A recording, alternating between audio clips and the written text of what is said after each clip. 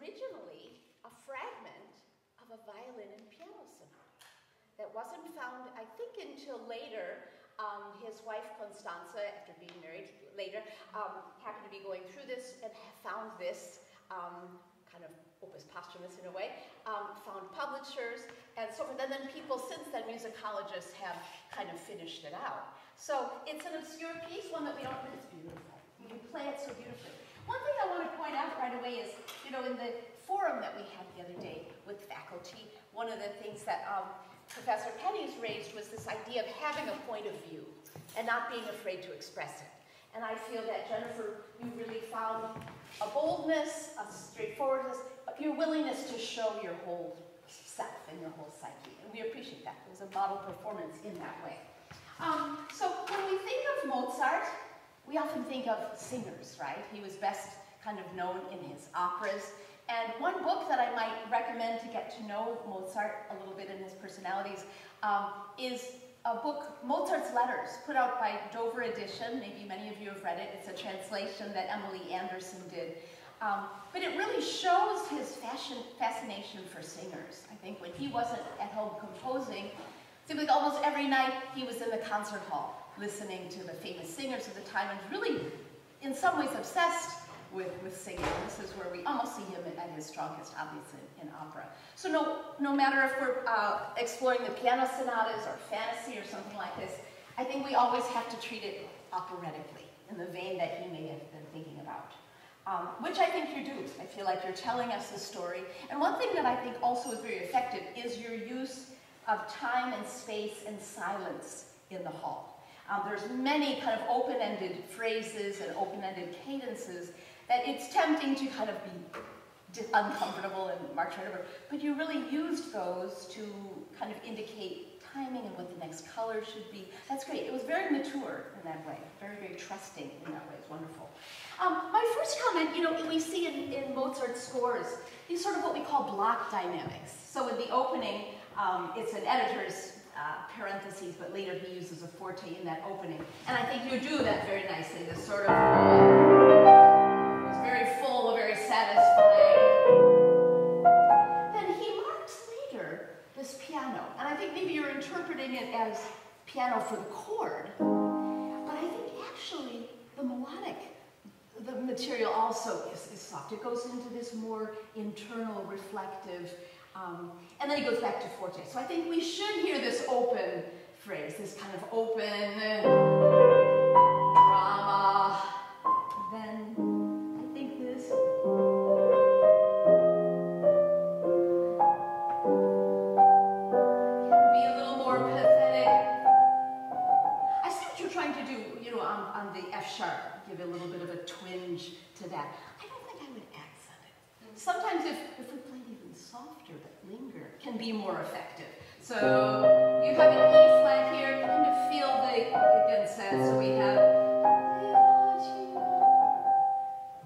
I would do just that. And then this flourish that you have, that was great. So let's do the opening and see if you can give us two very different universes yeah. within that opening phrase.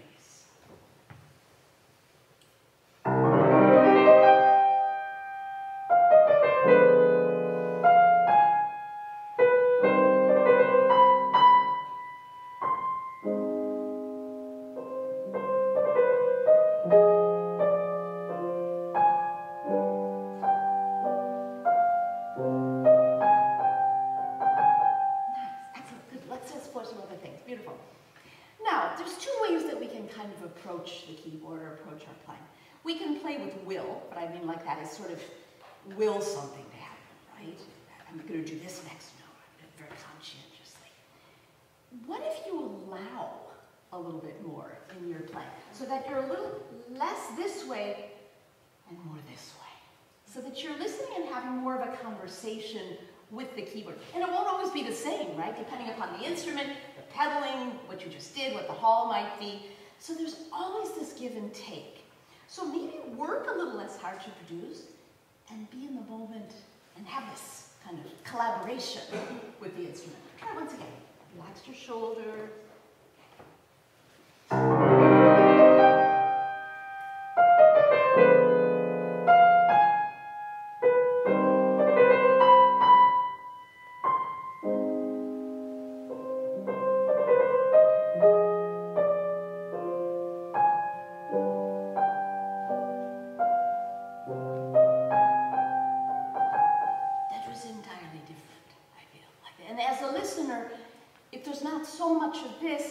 we plug in to this kind of sense of cantabile and longer line. That was lovely.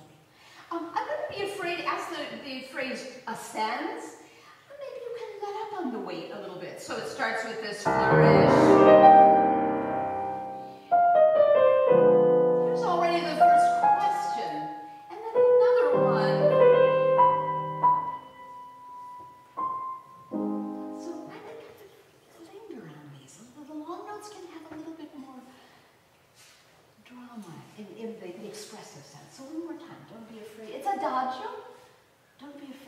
us linger with you. One more, one more time.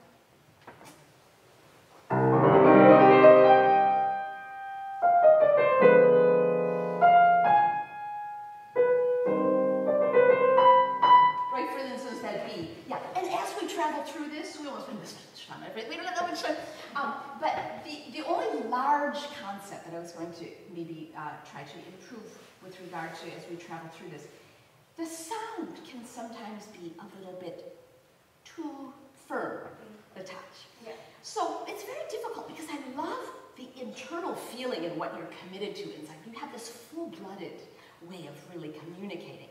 So how do we not cut that off, mm. right, but still play with a sound that's probably a little bit lighter? Maybe we think of Mozart's instrument, mm. right?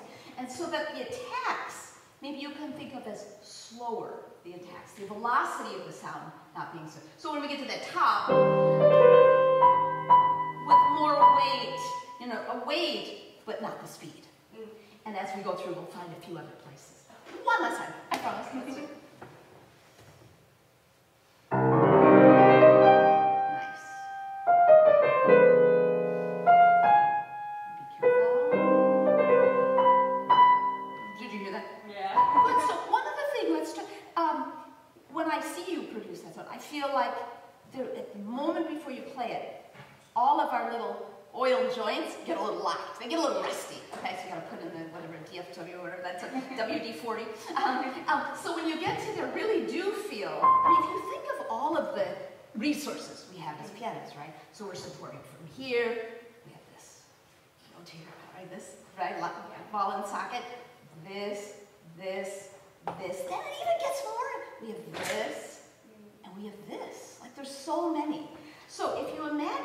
these are all shock absorbing that sound. So even this, I can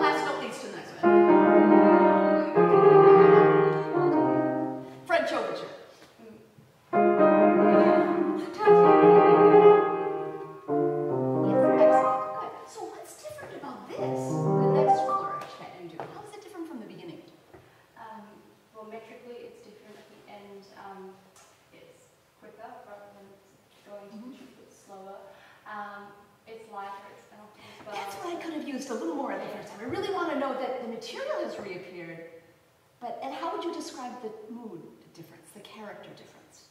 Um, the beginning is much more serious and dramatic, um, but this is a little bit more contemplative and um. And Try that. Can you go from the trill? And I want to hear that contemplative. Um, and one other thing we have, so here's our contemplative. We have this, right, all this beautiful string quartet stuff going on. So be careful that your violas. violists. I know violists love solos because they get so few of them, right? But we don't want it so, what we want, you know, have it kind of balanced out. Yeah.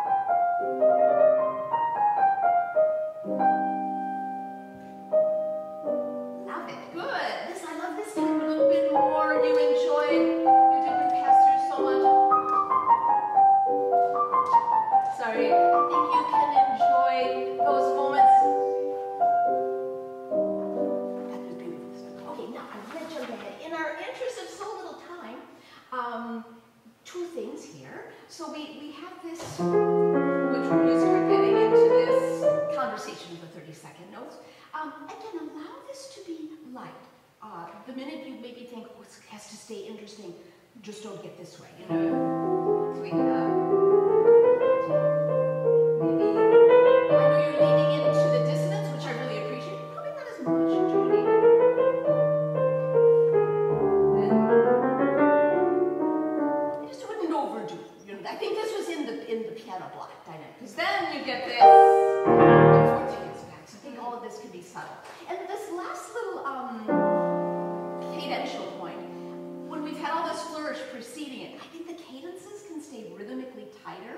simpler. So just, I wouldn't get as emotional with those, bitches.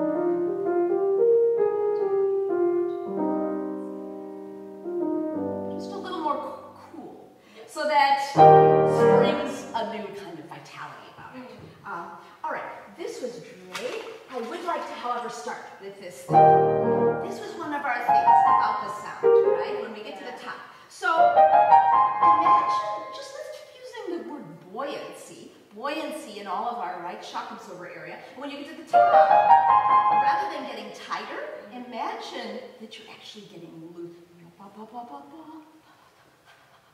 Yeah, that you're keeping that flexibility throughout. Um, and enjoy the chillest.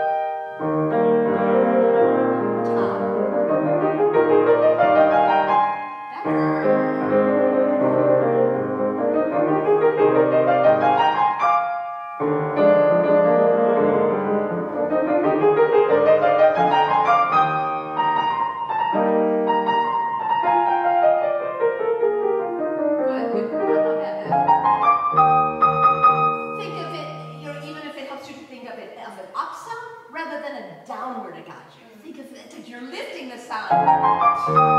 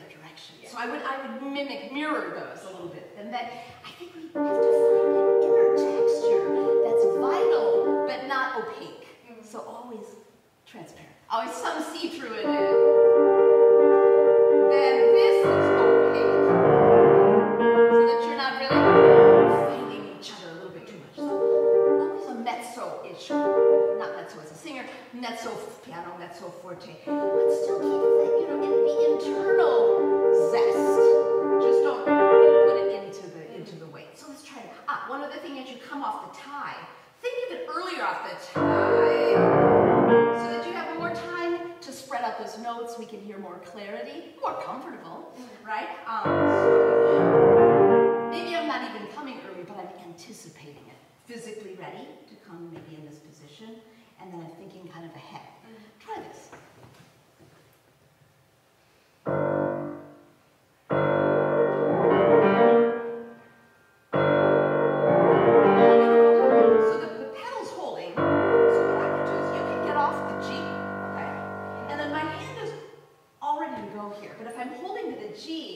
It harder to, so off. And then I'm ready to go do the just, I just release it, and I'm ready.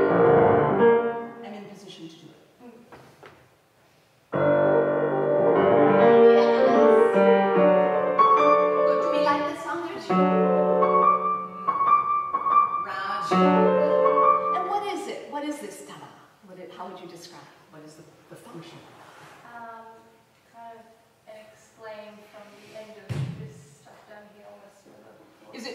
Confirming? You can, or is it Um, commenting? Is it I wouldn't say it's confirming. Um, it's almost at heads, but um, okay? So there's friction Yes. between these. Okay. So let's do it without maybe so much angriness of, of the time, you know. So.